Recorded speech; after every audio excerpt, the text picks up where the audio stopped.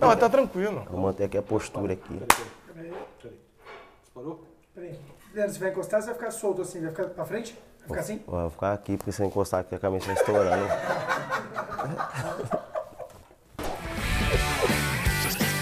Ficou legal. Só não posso esticar muito nem fazer Até movimentos. que limite você pode ir? Pra não estourar aqui assim? É melhor só dar a mão e tal, que curta também, ó. tipo, rebater uma bola de vôlei não dá. Mas por quê? Você tá tentando investir mais na, na imagem. É, cara, a gente tá tentando emagrecer um pouco, apesar que as câmeras nu- nunca deixam. Leandro, meu convidado Du, na linha meu bola. Pô, Obrigado, Leandro. imensa. A gente está falando sobre essa questão do visual e eu estou aqui prendendo a respiração. Agora vai começar o programa de vez. Eu vou soltar a minha também. Leandro, conta pro pessoal aí como é que surgiu o apelido Guerreiro. Jogar no Fluminense, eu acabei luxando o ombro, tinha uma luxação. Ia ter que passar por uma cirurgia, né? A gente passou pelo Vasco e no outro final de semana ia ser o Fla-Flu, né? Final. E o médico me afastou por 30 dias, eu fiquei a semana toda é, fazendo tratamento e tal. Eu cheguei na sexta-feira, eu pedi pro Abelão que, que eu queria jogar, né? Aí ele falou, você tá maluco, cara? Como é que você tá? Eu tava com a tipoia, né? Eu falei, não, eu quero jogar. Ele falou, você quer mesmo? Tem certeza? Eu falei, tenho. Ele falou, então tá bom. Aí eu fui pro jogo, tive a sorte ainda de fazer gol, né? De lá pra cá comecei ensinando guerreiro e depois teve sequência no São Paulo. Na nossa apresentação no Corinthians, né, cara? É porque veio o Dono e o Ratinho, não sei qual dos três na apresentação foi de verde, né, cara? Não foi você, não. né? Não, foi eu não, eu não. Acho que, se não me engano, eu tô achando. É, acho que foi o Dono, mas acho que foi o Doni, cara. Se eu não me engano, a gente tava com a camisa social verde, aí né, antes de nós entrar na coletiva, o Luxemburgo deu uma dura em nós. cara. Seus moleques, vocês estão brincando. Aqui não pode pisar ainda, nem a grama quase é verde e tal, dá uma dura. O que, que você fazia no interior lá na tua época de infância? Porque lá interior é muito mais legal. Pô, interior, cara, é bom demais, né, cara? Teve uma época que eu comecei, meu primo arrumou um trabalho pra mim com ele de soldador, né, cara? Um trabalho de 10 dias eu fiz num dia, né, cara? Aí acabou o dia, os caras me chamaram, caraca, o melhor soldador que nós teve aqui e tal, não sei como é. Mal ele sabia que eu tava soldando sem máscara. Como? Na hora de colocar a máscara pra soldar, eu tirava e hum, aí é mais rápido, né? Chegou a noite, pô, tomei banho, jantei e tal, fui descansar. Pô, quando eu deitei, que fechava o olho, com o olho cheio de areia, velho. Não enxergando nada, um caminhão de areia no olho. Eu lembrei que um cara tinha falado, pô, quando tiver. Falou pra mim, pô, você tá começando agora, tô cuidado com a máscara, mesmo com a máscara, né, você vai ter uma sensação ruim que tem areia e tal. Se você tivesse esse negócio, você põe um pepino gelado que dá uma, uma aliviada, né? Aí ficou a meia-noite, assim, todo mundo dormindo. Falei, cara, eu morava com meu primo, falei, caraca, o olho ardendo, eu falei, não consigo dormir, tem que acordar seis horas. Eu, vou- eu lembrei do pepino, vou lá meter, o- pegar o pepino. Fui na geladeira, abri, cara, nada de pepino, tinha o mamão papai, eu meti o papai. Você veio do interior pra cá, eu tenho um amigo, ele é até narrador, e ele veio pra cá e ele é de Marília. Ele ficou parado na Avenida Paulista aqui, ó, olhando aquelas telas que tem anúncios. Aí ele ficou parado assim, olhando, aí os amigos dele, vambora, vambora. Ele falou, não, não, peraí, pô, deixa eu ver que vai voltar do comercial, vai começar alguma coisa aí. Você nunca teve nada inusitado assim? Ó o cachorrinho. Como é o nome? Você sabe? Esse aqui é o. Princeso, cara. Princeso. É.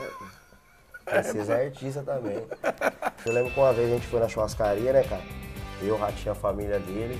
Eu lembro uma vez que o irmão do Ratinho foi pegar, foi pegar a carne assim, só que ele pegou o pegador, né, cara? Pegador assim.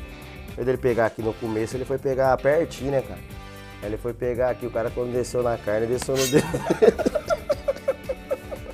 Aí jogou sangue pra todo lado na mesa, nas, nas carnes, na gente. Aí, cara, eu não consegui comer mais. Eu desespero.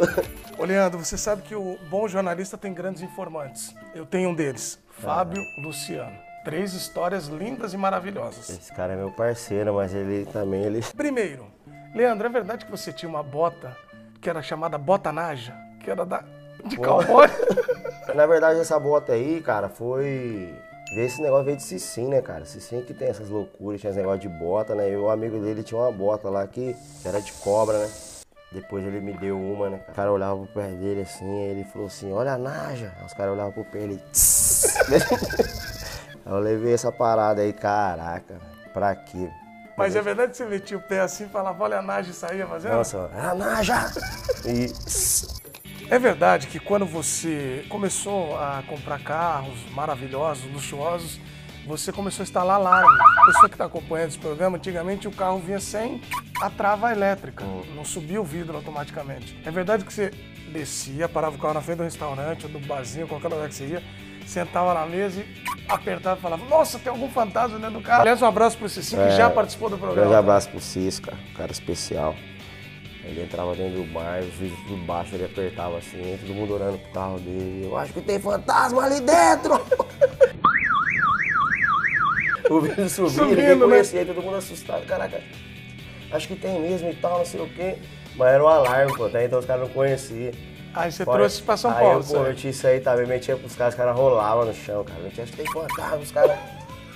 Você vê que esta é sua vida, né? Tipo a máquina da verdade do Gilberto Rapaz, Barros. túnel né? do tempo. Túnel do tempo. Quando você recebia o seu salário lá, você ia, sacava o dinheiro no banco, metia umas notas no bolso. E o que, que você falava? Olha a onça! 50 reais no bolso. É, que negócio é esse aí, tá fumando? Eu falei, não, é, olha a onça! Aí metia aqui, os caras iam Tirava loucura. umas 50. Aí tirava 50, os caras, cara, esse cara tá doido. Não, cara, isso aí é coisa do interior, velho. Eu me lembro de cobrir treino lá e uma- um dia chego pra trabalhar, tava um alvoroço. O Leandro falou que era mais bonito que o Reinaldo. E aí ficou o Janequine. Isso aconteceu de fato. Aconteceu. Não, mas eu, eu sou, eu acho que eu sou mais, sou mais eu, mais presença e tal. Mais obrigado. bonito que o Janequine. Muito mais, claro. Mas naquela época ele vivia o auge. Não, porque ele tava voando, né, cara? Eu comecei a voar também, começou a dar certo. Não é nada, cara. Esses caras me sacanearam muito, cara. Esse Cardinho Batata, os caras. Como é que foi a história? Por que, que você falou que você era mais bonito que o Janequine? Por causa dessa história que eu te falei de não treinar de bermuda, de chinelo e tal. E aí os caras começaram, Johnny, Johnny, Johnny. E eu não, até então não sabia que era eu, né? Eu falei, que porra é essa de Johnny? Não, é você, é o Johnny Aquino. Eu falei, vocês estão de brincadeira. aí eu fui ver que os caras estavam pondo pilha por causa da roupa, né? Cara, essa música anda muito certinho. Aí eu falei pros caras, ele quer saber mais, eu tô mais na moda do que ele. Aí os caras não aguentou. Ah, aí pegou. Aí pegou, aí ficou. E você morou na Rússia. Morei eu e o Jorge Wagner. É, que dupla, hein? A gente pegou o menino do Júnior, né? Que morava no alojamento lá e trouxe pra morar com a gente, né? Aí um dia, né, cara, minha vontade de comer feijão e tal, mas ninguém sabia fazer. A mulher falou, deixa pra mim que eu faço. Eu falei, tá bom, toca a ficha, irmão. Aí ele começou a fazer o feijão, aí ele colocava um negócio na panela, correndo no telefone. Ei, mãe, faz o que agora? Aí mãe dele, põe alho. Aí ele, ele colocava o alho. Aí ele falou, tá, mãe, faz o que agora? Põe cebola e tal. Final das contas, feijão mais caro do mundo que eu comi foi esse. Por quê? 2.400 dólares. Deu a conta do telefone. O Jorge falou, você viu a conta do telefone? Eu falei, não vi, cara. Ninguém usa telefone. Não, pô, o dia que o, que o papagaio fez o feijão, deu 2.400. Eu falei, pelo amor de Deus, rapaz, que Jura? feijão é esse? Juro. 2.400. Agora tem outra imagem que ficou marcada que é você subindo na trave. E as pessoas toda hora querem que você suba na trave. Só que você tá com uma certa idade. Você quer mandar um recado pra pessoa que não dá mais pra toda hora subir na trave? É, é, é verdade, não dá e... Porque imagina você com 70 anos, cara, sobe na Pô, trave. não dá e também a trave mudou, né, cara? A trave do Morumbi não é mais a mesma, né? Não tem mais aquele apoio, não tem. Agora Ele- Mas eles pedem. Então, toda hora, né, cara? Os caras, pô, quando eu vou no Morumbi, os caras, não dá pra subir na trave, não. Além de não dar, as costas dói. Precisa dar uma escada, né, cara? Tá Que situação, difícil. tá mais Escorrega, difícil. né, cara? Tá- Escorrega. escorrega. Mas depois que você subiu na trave, assim, em qualquer lugar, o pessoal, ô, sobe aqui, sobe ali. Ficou, tipo, ô, eu fui jogar salão um dia, o cara falou, sobe na trave. Eu falei, mano, a trave de salão dessa finorinha, você tá de brincando. Uma vez você caiu no fosso do palestra. Isso. Um momento tão ruim, porque cair no fosso não é nunca bom, né? Então, o antigo Parque Antártica, né, tinha uns pingos de ouro atrás do gol onde era o clube, né, das piscinas, né. Na curva do U aqui, acabava ah, o piso e virava fosso. Pô, eu nunca fui lá, mano, joguei no Palmeiras, falei, e tinha um, um conhecido meu, assim, bem no meio do jogo, eu vi ele, assim, pô, lá, dá a cabeça pro cara. Aí eu fui correndo, pulei, cara, e os caras, ah, Leandro, o que? Quando eu pulei, os caras fazem assim, tipo, ex-guerreiro. Já foi. Quando os caras olhou, viu que eu tava aí, os caras. Quando eu, eu pulei, cara, que eu olhei não vi nada, eu. É aquele, parece aquele, Aquele- desenho do pica-pau que fica Pô, parado e é, cai de. Não, foi a né? cara, cara do Chaves, né? assim.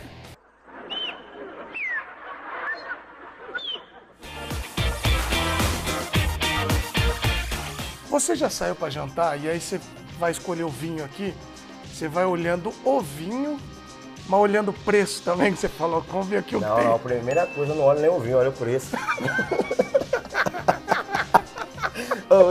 Falando de vinho, eu lembrei uma agora, cara.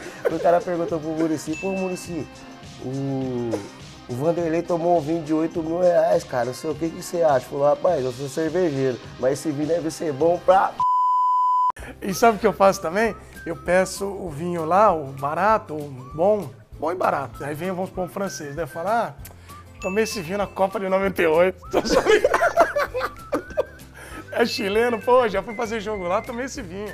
Tem que dar uma saída, né? Sair por cima, né? Isso. Já passou aquele momento que você tá olhando a conta e a tua cabeça tá assim, o que, que você veio fazer aqui? É o conta que deu cara pra caramba. Já aconteceu? Já, cara. Fui num negócio de fundir uma vez, a conta veio absurda, cara. Mais cara que o telefone do moleque lá. Nesse patamar aí do feijão, cara, a conta. Eu olhei assim, tipo, será mesmo? Quase que eu pedi pro cara parcelar. É o que pode também dar uma parcelada. Eu falei pro cara parcelar, eu falei, rapaz, nunca mais que me fundir depois É, dia. acabou. É, o fundi tá muito caro mesmo no não, Brasil. É brincadeira. Você já se arrependeu no dia seguinte de, às vezes, sair pra jantar? Às vezes você passa um pouco do limite no Danone.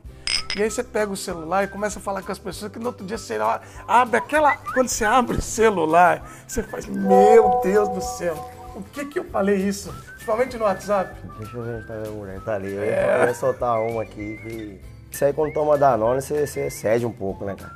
É, Você, acaba soltando algumas coisas que não devem em grupo e tal.